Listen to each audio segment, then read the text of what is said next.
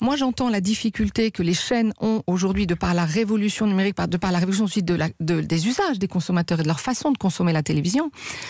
La révolution numérique amène des ruptures, mais elle amène aussi des opportunités les chaînes de télévision sont rémunérées par la publicité. Elles le seront demain avec de la publicité adressée qu'elles pourront faire payer un peu plus cher aux, annonceurs. On est à un moment où il faut trouver des modèles économiques et c'est aux chaînes de trouver des modèles économiques comme nous, cherchons à trouver les nôtres.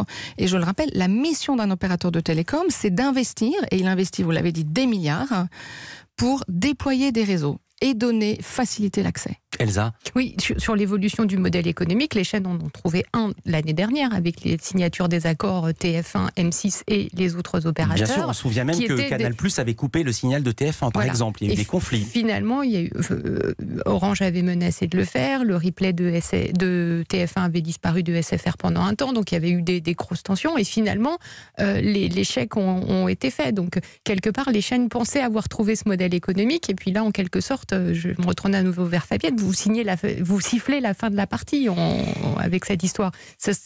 vous fermez le portefeuille Non, pas du tout. On dit ce que nous avons toujours dit et ce que nous avons d'ailleurs, euh, j'allais dire, négocié avec TF1 M6, que nous rémunérons les services à valeur ajoutée qui effectivement viennent renchérir et renforcer l'expérience des clients derrière les box et que nous refusons de payer des flux gratuits qui sont accessibles gratuitement sur la TNT. C'est ça le sujet.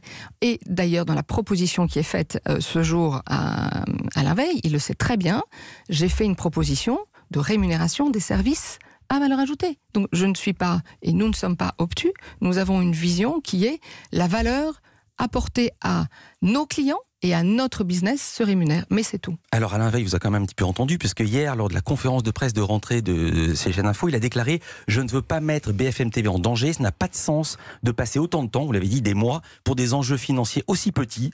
Cette crise va être résolue dans les heures ou les jours qui viennent. Je sais qu'Alain Veil nous écoute, s'il veut intervenir, vous répondre, vous, Fabienne Dulac, euh, notre micro lui est ouvert. Alors finalement, il a reculé hier, il vous propose de diffuser BFM gratuitement et de rebrancher ses chaînes tout de suite. Est-ce que vous allez le faire? Alors, nous sommes. J'ai entendu tout à fait, euh, avec attention évidemment, euh, les propos d'Alain Veil hier matin. Nous sommes en train de formaliser ces propos-là par écrit, ce qui est quand même euh, la règle du jeu dans notre type de négociation.